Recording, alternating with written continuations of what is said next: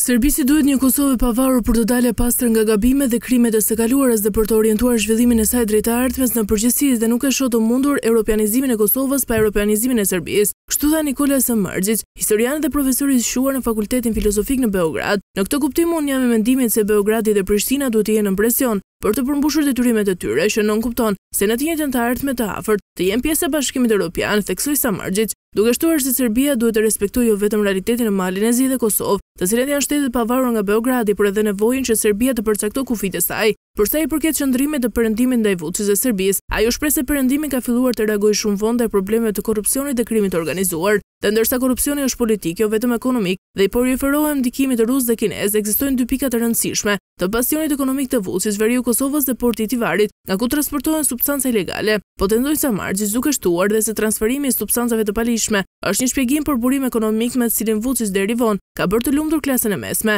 Samarxhiç gjithashtu beson se forcat e shtuara të KFOR-it në veri të Kosovës për momentin po kontribuojnë në ndarjen e Kosovës duke kujtuar deklaratën e fundit të kryetarit të Listës Serbe, në të cilën ai shprehet i kënaqur me përforcimet e miratuara nga KFOR-i, në kuptimin që ata respektojnë angazhimet e marra dhe se ai u beson atyre. Situata bëhet edhe më absurde teksa shohim se Perëndimi ka sanksionuar Kosovën dhe jo Serbinë dhe miqtë e saj në Bosnjë dhe Malin e Zi, ndërsa Bashkimi Europian ndjek një politikë diskriminuese ndaj myslimanëve të Ballkanit, të cilët kanë të drejtë të jenë europianë po aq edhe më shumë se myslimanët në Gjermani apo Francë, potencoi Nikola Samarxhiç.